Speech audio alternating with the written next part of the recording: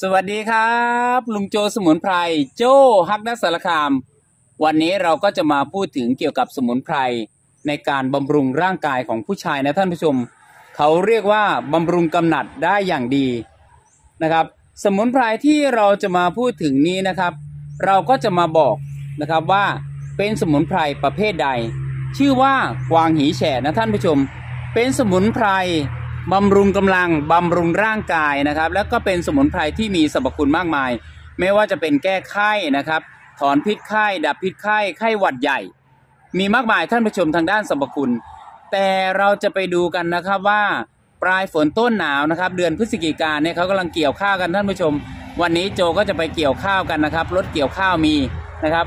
เราก็จะไปดูกันและแต่ว่าก่อนไปเรามาพูดถึง เรื่องของสมุนไพรในการบำรุงกำหนัดบำรุงร่างกาย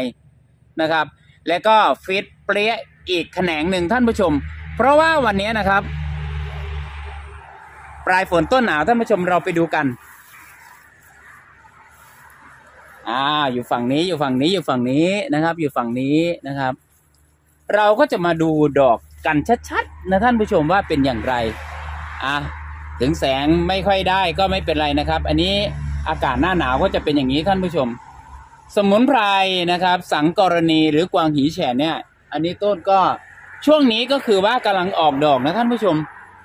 ออกดอกแล้วก็อ่าก็จะให้เมล็ดนะครับ ก็จะให้เมล็ด อ่า เดี๋ยวเดี๋ยวผมจะถ่ายชัดๆอีกทีหนึ่งนะครับ อ่านี่เห็นชัดแล้วนะครับ ก็จะเห็นดอกนะครับ ดอกสวย อันนี้สูงท่วมหัวโจนะนะครับ สูงสูงอย่างนี้เลยนะครับ สูงนี้เลย ก็มีต้นนี้นะครับ สูงอย่างนี้เลย เดี๋ยว เอาให้ท่านผู้ชมได้รับชมกันเลย ดอกเขาเป็นอย่างไร เรามาพูดกันก่อนนะครับว่าหอมไหมกวางหีแฉนนะครับ เออ เราก็จะมาพูดกันว่าสมุนไพรกวางตูดแฉหรือกวางหีแฉนเนี่ยนะครับเขาเอาไปทำอะไรได้บ้างสำหรับในหัวข้อวันนี้บำรุงกำหนัดบำรุงกำลังบำรุงร่างกายท่านผู้ชม ในการที่เราจะเอาทั้งต้นนี่แหละ ในการดองเหล้านะครับ ถ้าหากใครไม่กินเหล้านี่ก็คืออาจจะยุ่งยากหน่อย แต่ในตำรับตำราเนี่ยเขาจะดองเหล้านะท่านผู้ชมนะครับเขาจะดองเหล้าเพราะฉะนั้นสมุนไพรชนิดนี้เขาจะถอนมาทั้งต้นเลยนะครับ ถ้าต้นนี้ก็ประมาณหนึ่งต้นท่านผู้ชมต่อเหล้าหนึ่งขวดนะครับ เราก็ไปล้างน้ำให้สะอาดนะครับ ตากแดดให้แห้ง หลังจากนั้นก็มาดองเหล้าท่านผู้ชม เอาทั้งรากลำต้นใบกิ่งดอกผลได้หมดเลยนะครับ ในการดองเหล้าก็คือเอาทั้งห้านะครับ เราก็จะมาคุยกันก่อนท่านผู้ชมว่า สมุนไพรนะครับ สมุนไพรอ่าแสงอาจจะนั่นหน่อยท่านผู้ชม เดี๋ยว หามุมก่อนหามุม อ่า เอาอย่างนี้แล้วกันเนาะอย่างนี้แล้วกัน ให้ดูกัน เดี๋ยวโจก็จะถ่ายชัดๆดีกว่าเนาะแล้วก็คุยกันไปด้วยนะครับ อันนี้ก็แสงอาจจะไม่ได้เพราะว่า อ่า แสงแดดกำลังทอนะท่านผู้ชมช่วงหน้าหนาว เอาละเดี๋ยวเราจะตามไปดูกันนะครับ ว่าเป็นอย่างไรบ้าง ท่านผู้ชมครับ อะไรเอ่ยที่อยู่ข้างหน้าก็คือสมุนไพรกวางหีแฉะนะครับ อันนี้กวางหีแฉะนี้เรามาดูว่าอ่าดอกเขาเป็นอย่างไรนะครับ ดอกเขาสวยไหมนะครับ จริง ๆ แล้วสมุนไพรกวางหีแฉะเนี่ยมีสรรพคุณมากมาย และก็โดดเด่นทางด้านบำรุงกำลังบำรุงกำหนัดนะครับ ความหมายของบำรุงกำหนัดก็คือนะครับทำให้คึกคักฟิตฟัดปึงปังเปรี้ยนะครับ แตกเปรี้ยนะครับ ร่างกายนะครับไม่ใช่อย่างอื่นแตกนะครับ เราก็จะมาคุยกันท่านผู้ชมเกี่ยวกับสมุนไพรโอ้นี่อยู่สูงเลยนะครับ สูงท่วมหัวโจเลยนะครับ เนี่ยนะครับ สูงท่วมหัวเลย โอ้ทางด้านโน้นก็มีท่านผู้ชม ดอกชัดๆของเขาดีกว่าเนาะนี่นะครับ เขาเอาทั้งต้นนี่แหละท่านผู้ชมในการที่จะมาดองเหล้านะครับ และก็ดูจากลักษณะแล้วเนี่ยนะครับ ก็ถ้าทำเป็นไม้ประดับเป็นสวนนี่ก็จะสวยงาม ถ้าหากท่านใดนะครับ อยากได้ต้นกิ่งพันธุ์หรืออะไรก็แล้วแต่ท่านผู้ชมอ่าลุงโจสมุนไพรโจฮังนักสารคามก็มีให้นะครับ ช่วงนี้ก็ประมาณร้อยกว่าต้นท่านผู้ชมก็เดี๋ยวจะอ่าส่งให้แฟนคลับก็มีบางคนก็ขอมาก็มีนะครับ ก็จะส่งให้ส่วนค่าใช้จ่ายยังไงก็ว่ากันไปนะครับ เราก็จะมาพูดกันนะครับว่ากินแล้วเป็นอย่างไรนะครับ บางคนเนี่ยกินวันละใบท่านผู้ชมวันละใบก็เสียวแล้วนะครับ แต่จริงๆแล้วในการใช้สมุนไพรเนี่ยท่านผู้ชม ในการที่จะโฆษณาหรืออะไรก็แล้วแต่นะครับ ต้องบอกเขารายละเอียดนะครับว่ากินนานประมาณเท่าไหร่ถึงจะเริ่มเห็นผลนะครับ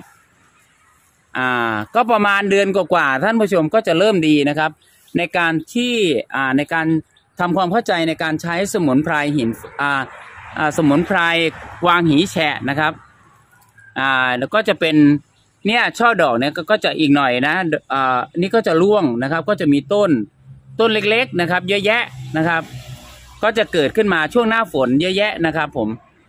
อันนี้เราก็ปลูกไว้ เดี๋ยวจะลดน้ำไว้เหมือนกันเพราะเริ่มแห้งแล้ว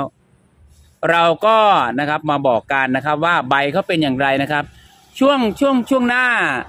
หน้าแล้งเนี่ยใบเขาจะออกสีเหลืองๆนิดนึงนะครับ ไปตามสภาพภูมิอากาศ ทีนี้กินแล้วเป็นอย่างไรท่านผู้ชม กินแล้วก็โอ้ยขอบอกเด้อสิบอกให้นะครับ ร่างกายเราก็มีการเลือดลมไหลเวียนดี ถ้าเลือดลมไหลเวียนดีแล้วเนี่ยนะครับ สุขภาพร่างกายของเราเนี่ยก็กระชุ่มกระชวยนะครับ เรื่องบนเตียงเนี่ยก็ไม่ต้องหายห่วงนะครับ คือไม่ต้องแบบว่าล่มกลางคันนะครับ เรากินนะครับ ถ้าเราดองไว้เราจะดองไว้ประมาณนะครับเจ็ดวันถึงสิบสี่วัน หรือบางคนก็ดองเดือนหนึ่งนะครับ ทีนี้การกินเนี่ยกินครั้งละประมาณนะครับ ประมาณหนึ่งเป๊กนะครับ ก่อนอาหารนะครับหนึ่งเป๊กแล้วก็กินน้ำตามนะครับ ตอนเช้าแล้วก็ตอนเย็นท่านผู้ชม สามารถกินประมาณหนึ่งอาทิตย์ แล้วก็หยุดสักวันสองวันนะครับ ค่อยมาทานต่อเป็นอย่างนั้นนะครับ สมุนไพรนะครับ สมุนไพรวิธกับวิธีการใช้สมุนไพรกวางหีแฉะนะครับ แฉะไม่แฉะก็แฉะคราวนี้แหละนะครับ โอ้สูงมาก สวยนะครับ ดอกสวยมาก อันนี้หน้าหน้าแรงเดือนพฤศจิกาในการทำคลิปนะท่านผู้ชม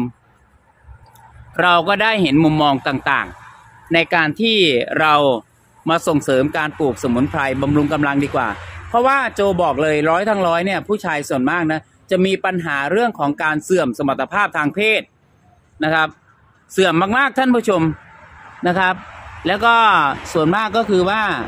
ทุกคนเนี่ยอยากจะได้นะครับ โจไม่อยากจะพูดว่า เออเมียต้องไปมีชู้หรืออะไรเลยนะครับ เพราะว่าเราก็แก้ปัญหาของเราได้ ด้วยการใช้สมุนไพรที่ขึ้นชื่อว่า วางหีแฉะนะครับ หรือกวางตูดแฉะ อย่างที่เขาบอกกัน อีกชื่อหนึ่งก็คือสังกรณีนี่แหละท่านผู้ชม กินแล้วเราต้องกินประมาณเป็นเดือนนะครับ กินเป็นเดือน ร่างกายของเราก็จะกระชุ่มกระชวย ช่วงนี้เป็นการเลือกอบตนะครับ ก็โฆษณาเสียงโฆษณาอาจจะเข้าต้องกราบขออภัยนะท่านผู้ชม เสียงดังดังถ้าหากท่านใดนะครับที่ยังไม่มีนะครับ ก็อ่าโจจะให้ ID ไลน์ไว้นะครับ แล้วก็ สอบถามมาได้ท่านผู้ชม โจมีแค่ร้อยต้นแค่นั้นเองนะครับ ในการที่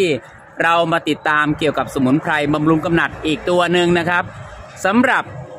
หน้าปลายฝนต้นหนาวนะครับ ปลายฝนต้นหนาวแล้วนะครับ เดือนนี้ไม่มีฝนแล้วนะท่านผู้ชมไม่มีฝนแล้ว แต่ก็ไม่แน่นะครับ เพราะว่าลมฟ้าพยากรณ์อากาศมันเปลี่ยนเรื่อยนะครับ เดี๋ยวเราไปดูโอ้ต้นนั้นนะครับ สูงมากท่านผู้ชมดูดิสูงมากๆนะครับ เพราะฉะนั้นนะครับในการเรียนรู้สมุนไพรนะท่านผู้ชมเราต้องเรียนรู้ให้แตกฉานพอสมควร และก็วิธีการนำไปใช้ในการบอกกล่าวกันนะครับ ในการที่เราจะเอาไปดองหรือเอาไปต้ม หรือกินใบ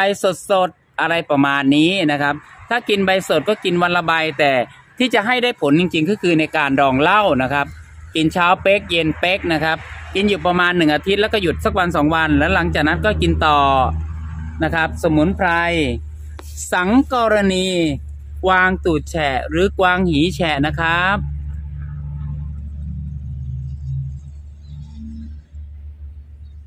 สวยงามมาก ๆ ครับผม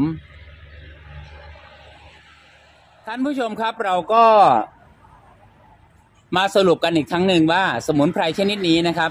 เรากินแล้วเราดีต่อใจอย่างไงนะครับ เรากินแล้วเราเอาไปทำอย่างไรก็คือการดองดองเหล้า เราจะเอาทั้งต้นในการดองเหล้าสมุนไพรกวางหีแฉะนะครับแฉะไม่แฉะก็คราวนี้แหละครับแฉะจริง ๆนะครับ เป็นสมุนไพรที่ขึ้นชื่อว่ากวางหีแฉะหรือกวางตูดแฉะหรือสังกรณีนะครับในการที่เราไปดองเหล้าดื่มสำหรับผู้ชายที่เสื่อมสมรรถภาพทางเพศนะครับ ถ้าอยากให้ร่างกายดีกระชุ่มกระชวยดี เราก็ต้องใช้สมุนไพรกวางหีแฉะนะครับผม กดติดตามนะครับ กดไลค์ กดแชร์ และกดกระดิ่งที่ YouTube ช่องโจฮักนักสารคาม ช่องลุงโจสมุนไพร กดกระดิ่งกิ้งกิ้งๆนะครับสำหรับสมุนไพรบำรุงกำหนัดบำรุงร่างกาย ฟิตเปรี้ยเปรี้ยนะครับ แตกเปรี้ยสิบอกให้เลยแหละครับ กวางหีแฉะหรือกวางตูดแฉะสังกรณี